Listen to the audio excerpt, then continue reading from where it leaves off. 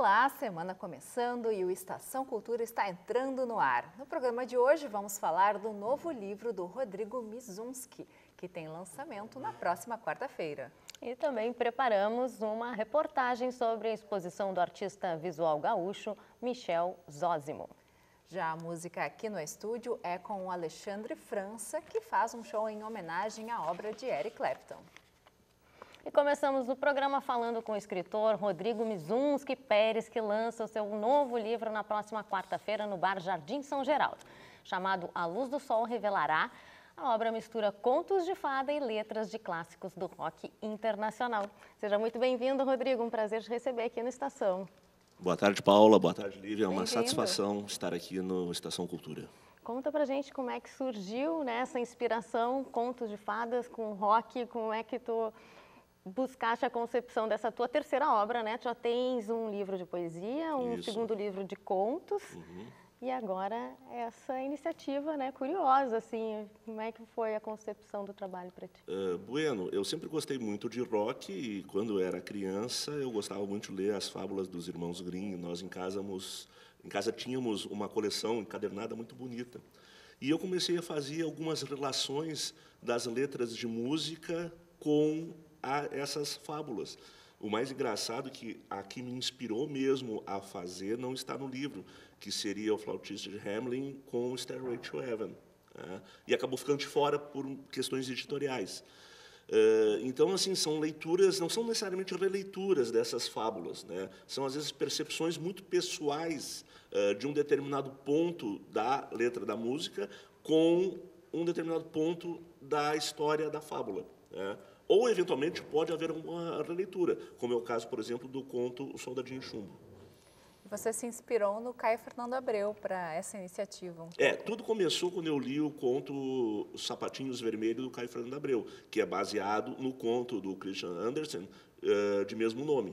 Né? Aí eu disse, por que eu não posso fazer algo parecido, mas, claro, para não ficar uma cópia, né, agregar algo né, que traga a minha experiência pessoal, né, que é do, do, do, gosto pela música, do gosto pelo, pelo rock and roll. Aí comecei a unir essas ideias, comecei a escrever, começou a ficar legal e eu achei, não, isso pode dar realmente um livro.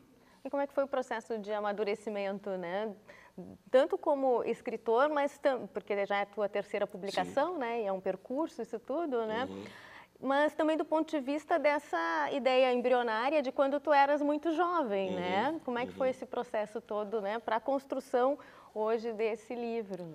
A, a, escrita ela sempre teve presente comigo. Eu, com seis anos de idade, logo alfabetizado, eu escrevi uma, uma historinha para o colégio, que era a história de um circo que pega fogo, o palestra fica doente, toda a cidade fica triste. E aquilo ali fez um, um sucesso danado, né? Uma criança de seis anos escrevendo isso. Depois eu passei a escrever muita poesia, né? Entrei naquela fase adolescente da paixão avassaladora, né? Comecei a escrever muita poesia, que me levou em 1993 a, a publicar meu livro de poesias, O Poeta de Plantão.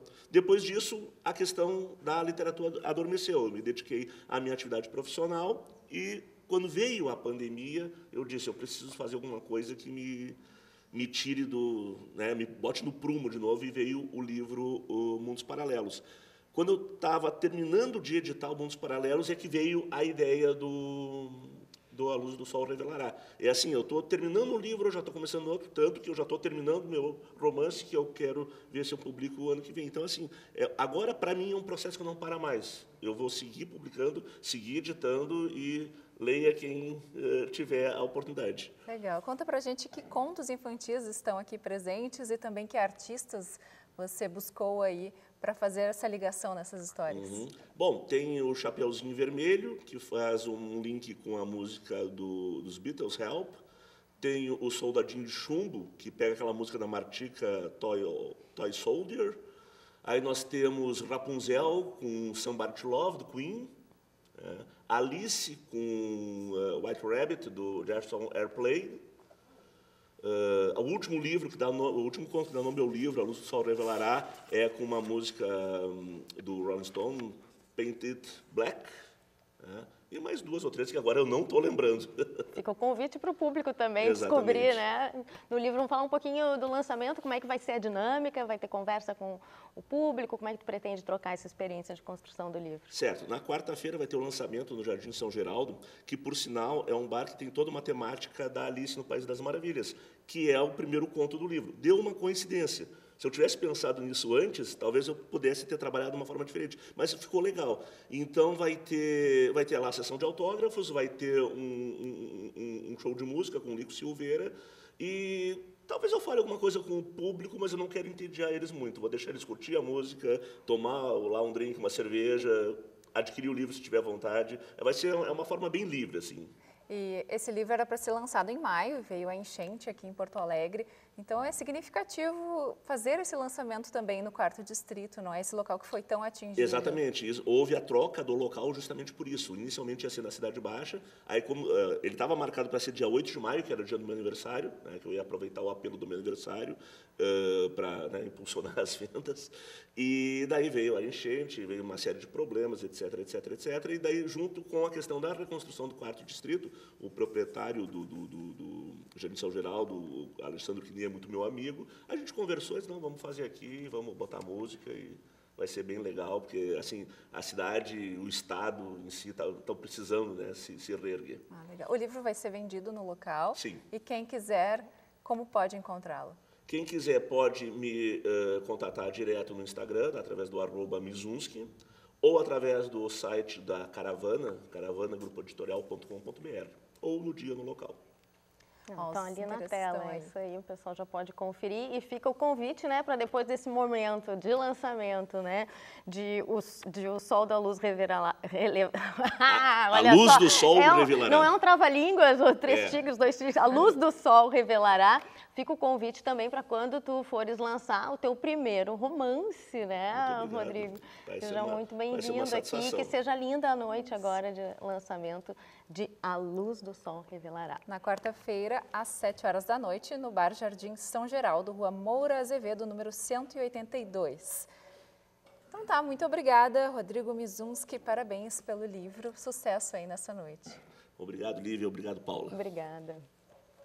E vamos para a primeira apresentação musical do programa com o Alexandre França e o Ale Alice. Na próxima sexta-feira, a Alexandre França Blues Band se apresenta no Espaço 373 com um show em homenagem a Eric Clapton. Vamos curtir um pouquinho.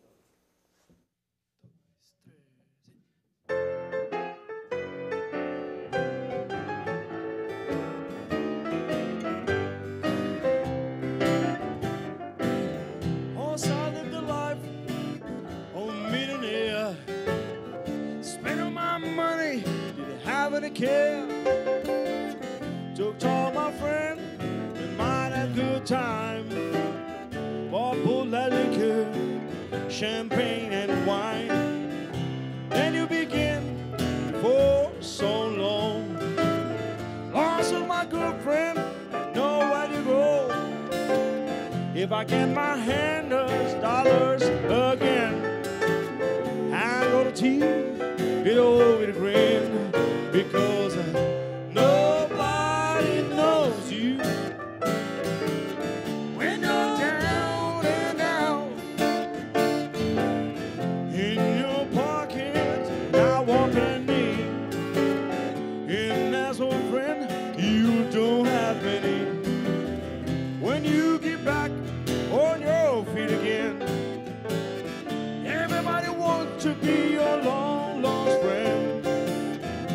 said his friend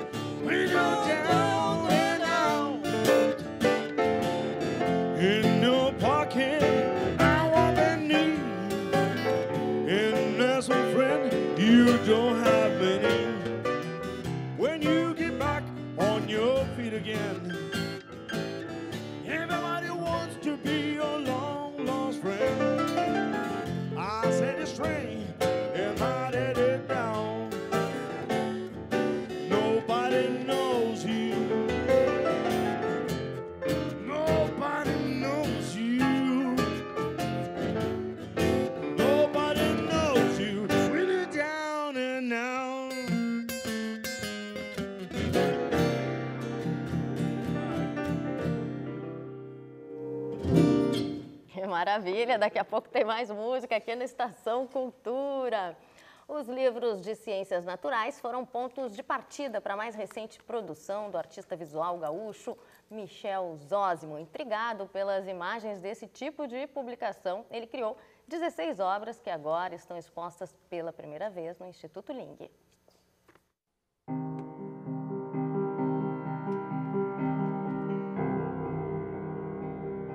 Vegetais, frutas, mamíferos, insetos, todos habitando uma mesma cena. Na mostra Livro Verde, Michel Zósimo apresenta, com riqueza de detalhes, 15 obras inspiradas em livros e publicações, em especial as antigas enciclopédias. Aqui a gente vê claramente um, a referência dessas enciclopédias naturalistas, né, voltadas ao mundo natural, à biologia, às ciências, uh, e ele começa a observar como se fazem as ilustrações desse tipo de publicação e, de alguma maneira, reproduzir esse tipo de ilustração nesses desenhos, criando é, uh, cenas, criando é, trabalhos que uh, são completamente tomados por essas representações, porém sem a, sem a, a, a forma é, analítica que a gente encontra numa enciclopédia. Trazendo a natureza de forma desordenada, o artista se aproxima de outro universo de seu interesse, a ficção. Para produzir essas imagens, ele optou pela técnica do desenho, com retícula, que é um conjunto de pontos que dão cor e textura às figuras.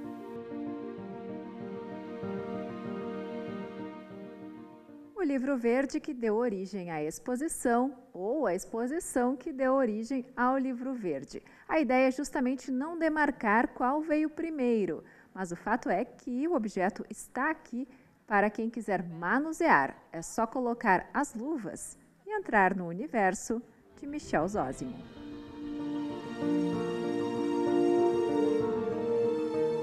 O grande destaque da mostra é a colagem Embrionários.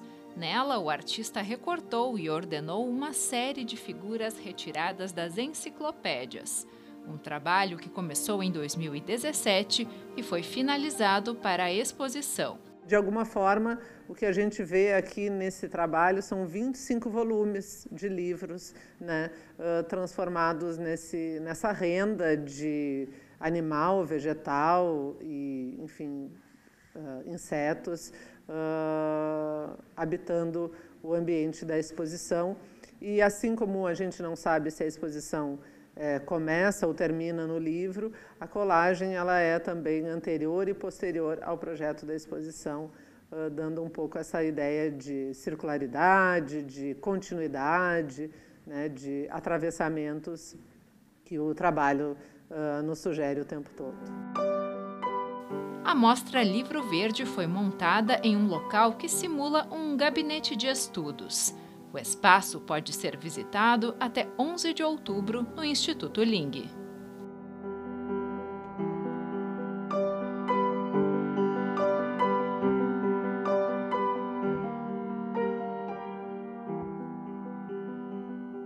Isso aí, fica o convite de conferir Michel Zósimo no Instituto Ling, está muito bacana. E agora vamos conversar com Alexandre França, que estará com a sua banda na próxima sexta no Espaço 373. O repertório faz uma homenagem à obra do guitarrista inglês Eric Clapton, Olá, Alexandre, seja muito bem-vindo. Ale também está aqui acompanhando. Olá, Tudo meninas. bem? Muito boa tarde, prazer estar aqui, voltando aqui na TVE, que a gente se sente sempre muito em casa aqui, né?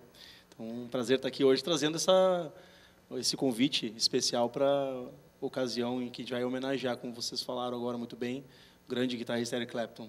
Pois é, esse grande nome da música, não é? Foi uma referência na tua carreira? Conta um pouquinho pra gente. Bastante, né? Eu, por muitos anos, eu fui baixista e hum, ainda como baixista eu já ficava ouvindo os solos de Eric Clapton, me imaginando tocando guitarra. Então, alguma coisa acontecia ali que depois veio a ser o que passou, né, passou a ser a minha vida como como artista solo e, e guitarrista e, e ele como, como inspiração ele vai desde a guitarra até o processo de composição assim né? então para mim realmente ele é um é um, uma legenda importante no meu trabalho como artista e, e, algumas histórias de vida dele, algumas, me inspiram também pelo fato da sua superação, resiliência dele. Então, acho muito interessante assim, essa pesquisa é, em cima da, da persona mesmo. E como é que tu vais estruturar esse espetáculo aí, esse tributo ao Eric Clapton? Como é que o público vai encontrar em palco? É muito difícil a gente sintetizar, né, Alice, um, um show trazendo tudo de um artista, ainda mais um cara que é lá dos anos 60, né? Mas a gente tenta fazer algo que parece ser assim meio que cronológico. A gente começa com um set uh, acústico, trazendo uh, algo mais raiz, assim, mais blues, né? Que é uma influência muito forte na carreira dele, né? Aí passa ali pelos anos 60, onde o Eric Clapton ele ele construiu a carreira em cima do, do grande, poderoso power trio, o Cream, né, que era um rock muito uh, visceral e ácido, assim, uma coisa muito roots e tal, uh, psicodélica também. E aí nos anos 70, quando ele emplaca ali com discos uh, trazendo o, o que veio a ser o rock clássico dos anos 70. Ele tinha uma parceria muito grande com George Harrison dos Beatles, né? E, e, e flertou ali com grandes artistas. É, então tem muita coisa dos anos 70 que não dá para deixar. Vamos lá, Cocaine, After Midnight, Lay Down Sally, essas músicas são anos 70 né, na, na carreira dele.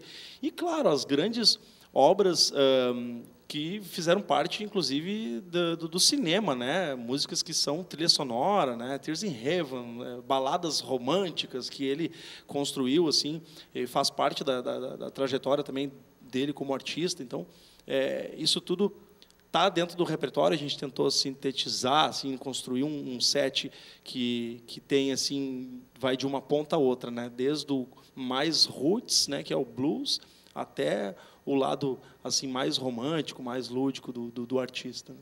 Conta pra gente quem vai estar te acompanhando lá no 373. Mas com o maior prazer, né? Que aí é fácil fazer quando tem caras como esse, né? Tipo o Ali Alice, né? O pianista que vocês estão vendo hoje aqui, grande maestro, né? O nosso baixista, o Sérgio Selbach e o Gustavo Leidner, né? Que compõe aí a, a cozinha da banda, né? Gustavo na bateria, o Sérgio no baixo, esse quarteto e vamos contar com a participação do nosso curador aí, né? Que o, o Andy Boy, né? O André Serrano, ele é o cara que que é um dos grandes nomes da harmônica aqui do nosso estado e vai estar presente e vai participar aí tocando umas três ou nove quem sabe, tocando umas gaitas com a gente também. Que bacana, o Andy é uma figuraça, né? Ele anima o palco, né? Tá Demais. Tu está muito bem acompanhado mesmo dessa galera toda, né, É como eu falei, Alexandre? com, com eles é fácil fazer, né? Então vai ser uma diversão só.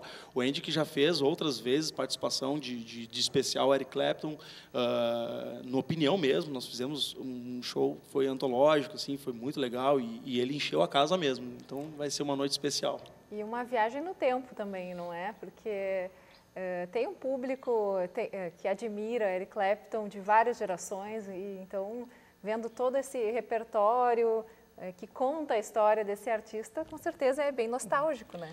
Certamente. Tem uma questão de apelo histórico, né? E tem toda a questão assim de um artista que ele ele é polêmico muitas vezes, então ele atinge as pessoas de várias formas. Eu costumo dizer o seguinte: a arte ela tem que atingir e provocar, né? Quando o artista provoca muitas vezes de uma forma até assim negativa, eu vejo também um lado positivo de fazer com que, olha, o que, que esse cara está fazendo aqui, que ele está pisando na bola, que deveríamos construir para melhorar, sabe? Então, para mim, ele ele é não só pelos solos de guitarra, mas também pela essa, por essa coisa contraditória que também acompanha ele. Como eu falei para vocês, ele me inspira em algumas das suas histórias de vida, não todas. Então, tem muita coisa legal assim e que eu acho que a garotada que está começando a curtir o rock, que está começando a ouvir ali os primeiros blues e tal, é, acho que é interessante de irem fazer essa busca e, e, é muito emocionante quando a gente vê realmente, como vocês disseram, uh, gerações diferentes né, num mesmo show. É muito bacana. Com certeza. Bacana, fica o convite então, Alexandre França, muito obrigada. Ali Alice também vai estar acompanhando obrigada. agora nessa sexta-feira, a partir das 21 horas, o especial Eric Clapton, ali no espaço 373, ingressos pelo Simpla. E também para acompanhar um pouco mais da trajetória, os próximos trabalhos do Alexandre, tem o perfil no Instagram, que é o arroba Alexandre França, com C, né, franca.guitarrista. Mais uma vez, muito obrigada. obrigada a gente ainda um vai show para vocês. conferir mais uma música na sequência. Estação Cultura desta segunda vai ficando por aqui. Não esquece que dá para conferir as edições passadas na nossa página do YouTube da TVE. E vamos encerrar então com mais uma música com o Alexandre França e o Ale Alice. Tchau, tchau. Até amanhã, às duas da tarde. Tchau, até amanhã. Obrigado, gente. Valeu, uma boa tarde. Big Great Little Girl para vocês. Né?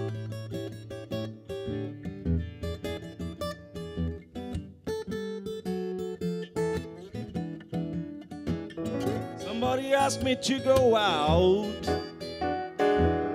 It was a party Monday night. She was really cocking her hand and told me, You are late again, boy. Yeah. Somebody blessed me last night. One took me to what would be great moonlight. She caught my head and told me, what did it shiver, boy? Yeah, she got on my mind. But she told me, don't you worry about the time. Tomorrow morning, let me make lunchtime. Yeah, she might be great little girl. Ooh, she got on my mind. She doesn't need me to be rich. But time I tried to give her another gift. Ooh, tomorrow, a bank and dress her in silver and gold. Hey girl, what do you think?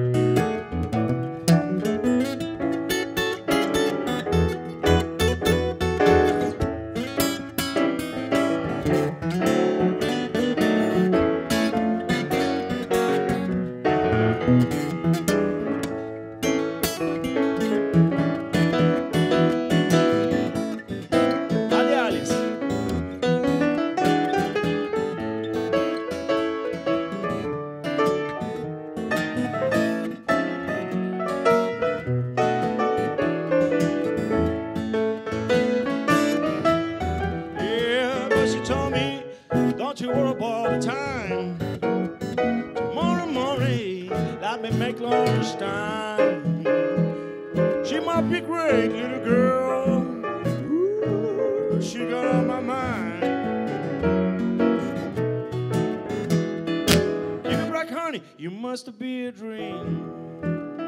Ah, I cried, a woman I've I never, never, ever, ever, ever, ever seen.